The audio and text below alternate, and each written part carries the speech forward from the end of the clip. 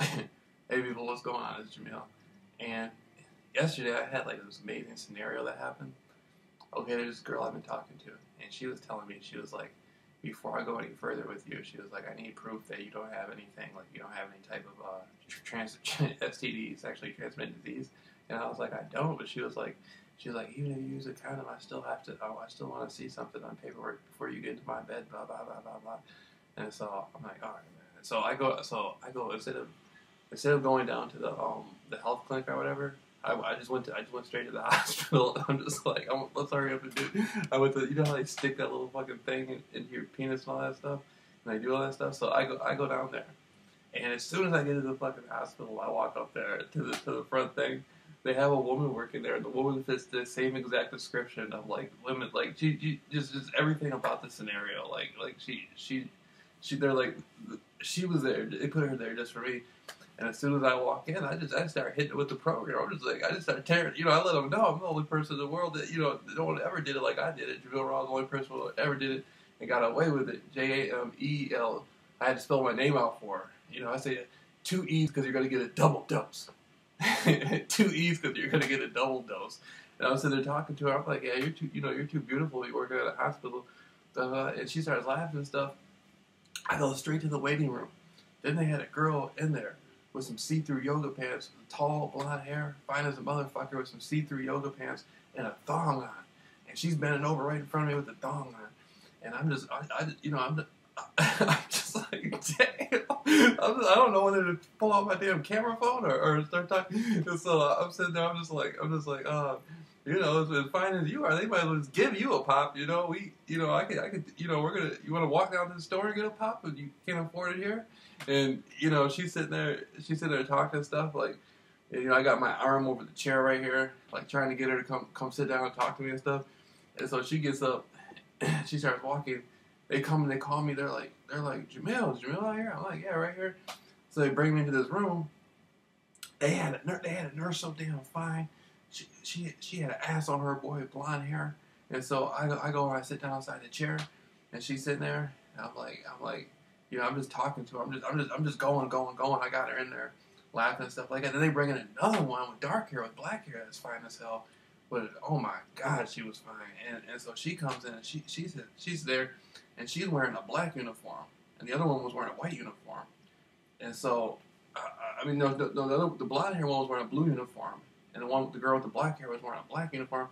And I'm just asking, I'm just asking both of them like, why are the uniforms different colors and stuff? I'm just keeping it going, and they're both working for the program, and so they're looking at me like, who is this guy? Like, why is he so happy? How, can, you know what I mean? Like, he doesn't know what's going on, and, and so I, I like them to think what they want. Then they take me into this other room and set me down, and I gotta, I gotta wait to see them to tell them what I, what I want to do, what, I, what I'm there for, and and so I just told them like, yeah. I want, to get have like um, one of those tests, like one of those STD tests stuff. Like I, I gotta have proof on paperwork that there's nothing wrong with me and stuff. And so, as I'm as I'm sitting there and I'm waiting in the room, they send a girl in, and you know she's not really that attractive, but she, she had ass on her though, and I could tell by the way she was walking, she was there for, with the program. And so I got her in the we were in the room together, and I'm sitting there just talking to her. I'm like, you know, I'm, I'm talking to her, and eventually I asked her, I was like, yeah, so you got a boyfriend? She said, I'm married and you can tell she's working for the program. She's sitting there like super nervous and stuff, like texting, like her eyes are like da da da da da da da, da. like her husband's probably telling her what to say. And I, I just told her, I said, yeah, you know, I said, I said, you know, I said, you know, I'm famous. I did a bunch of interviews in Hollywood and got set up to be killed. And I beat that and got put into the program, gang stalking program, organized intimidation is worldwide. I beat that and I'm laying down courses for other people. And I'm at the best level. They use, you know, sexy uh, females fat asses and all this stuff. I just told, I, am just telling her, I'm just sitting there telling her straight up. I, the way I feel, I'll say whatever the hell I want to say. All the stuff I've been through and everything I've done, I don't care what anybody thinks about me anymore. If I, if I feel it and I think it, you know, I'm going to say it. I'm out here helping people, saving lives. Like, you know, as long as I'm not hurting nobody, I'll do it, you know, I'll say what I want to say. And so I'm sitting there, talk, I'm sitting there talking to her. And you can tell she's nervous as hell. You can tell the program had her in there. And so eventually I leave, and then they had they had another nurse. They had another nurse. Okay, so I go well, I go into a room, and they come in there. They come in there, and they're like they're like, okay, well, if you want to get tested, we're gonna have to stick this thing in your penis. And it's, it's the woman working there. She she was fine as hell too. And then before they do that, they had a man come inside the room, and the man had some damn gloves on, some plastic gloves on. And I'm just like, what's his role? you know what I mean? What's his role? And he's he's sitting there, and she's like, he's just gonna watch, like he's gonna watch my, you know. So he's gonna look at my penis? Is that what you're saying? And she's like, he's just gonna stand here and make sure nothing happens. I'm like, okay.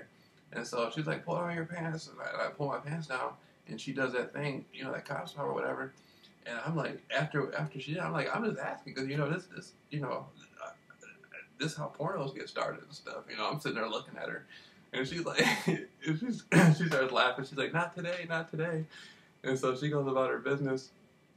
Then the other nurse came in, the other nurse was like, "You can't be saying stuff like that." Blah blah blah. And I'm thinking she's talking about me and the me, me her the woman who with the porno. And I'm like, "What are you talking about? You can't say stuff like that." She stuck that thing in my penis. I can say what the hell I want to say, you know. And, she was like, "She was like, I'm not talking about that. I'm talking about when you were in the waiting room." And and so the nurse hurried up and said that and walked away. And I'm like, "Oh hell no! The program's trying to use use that lopsided fat bitch to throw me off my game." And so she come she comes back so she come they come back in. And um I so they come back in. And and so I'm, I'm like I'm like I'm like how what gives you the right to to challenge me on a conversation that you know nothing about? You weren't there. And she's like I'm like for all you know that woman could be a pathological liar. And the nurse was like you're right sir you're right. She probably is a pathological liar. And I'm like what did she say? I want to make sure my name wasn't slandered Damn it. You know what I mean? I'm, in I'm getting ready. To, they don't know about me, all the legal stuff I, I studied. When I did my conspiracy research, I studied legal stuff for years and years and years and years. So I'm getting ready to light her ass up like I'm Johnnie Cochran. And I'm coming, you know, I'm, I'm ready to take him back. And so she's like, nurse is like, you're right, sir. I had no right to say that, blah, blah, blah, blah. And I'm just like, damn, the program's that weak?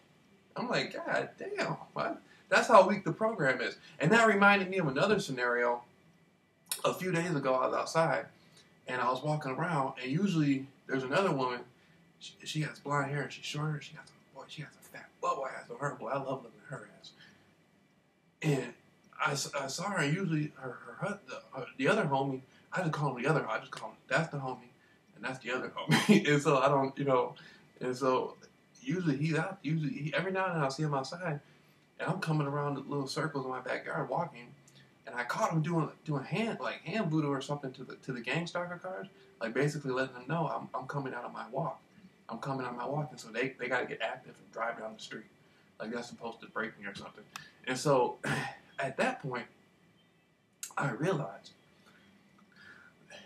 I saw that, and that showed me how weak the program was. But the only reason I saw that is because I wasn't looking for him; I was looking for that ass. And because I was excited and motivated about looking for that ass, I was able to see him doing that. And I pierced through the program metaphysically. See what I'm saying? And so that's when you actually beat the program, then you're able to pierce through the program whenever you want to. And so because because that ass out there, see people don't know when I look at that ass, that ass is saving lives. I'm able to go back and help people and save people's lives because I'm motivated off that ass.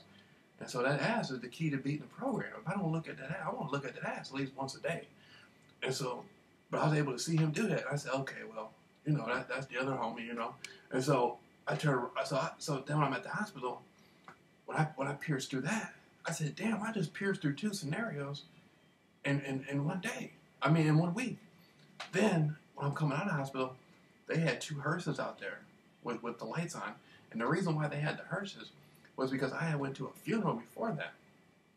And the funeral I went to, the guy had actually been gang stalking me lately. He had, he had been using his headlights and stuff like that. And and um and so and he had been driving his headlights and stuff. And so and then he, he died he died a crazy way. He ended up going crazy. He lost it. He was on the porch at three in the morning, uh, calling his niece, telling her, "Bitch, where are you at?" And he was naked. He, they caught him naked on the porch at 3 a.m telling his niece to come over there. You know, his niece is a grown woman, but still though. And then, and then he went. Then he ended up dying. And he ended up dying. And at his funeral, they had the lights on the hearse. And so I was talking to my friend Steve on the phone. Well, who we, you know, I, I talk to him periodically about the program. And I was telling him they had the lights on the hearse. I was telling him that's paranormal stuff. They should have brought the hearse out more. And the program heard me saying that, so the program had the hearse at the hospital That's what you that's what you call pimping the program. See, the level I'm at, we, we level I'm at, we don't just beat the program now, we pimp the program. I can find I can pick a female if I want to see more of her, I know what to say. I can say certain stuff on the phone. I can do certain stuff. I can look at her in a certain way, and the program will use her more. But when I do that, she's going to benefit. She's going to be making money out of it. I'm putting food on the table for her and the family. Her sexiness and the ass that she got is helping me to go out and motivate me to help other people beat the program. It's a worldwide thing. So I look at it like me and her are a team. The ass that she got, we're a team. And so, you know, the ass is, is saving the world, saving the children, you know? For real. And so that's what you call pimping the program. And so after you beat the program, after you beat the program, you got to be able to pimp you see what I'm talking about? You got you got to be able to pimp the program. You got to be able to go out there and, and, and, and, put that ass on the blade.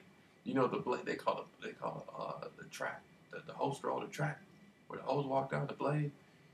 You got to get out there like I do, be walking on the blade and be walking around just, just, just, just looking at all the ass, looking at all the ass and pimping the program. That's what we do all day now.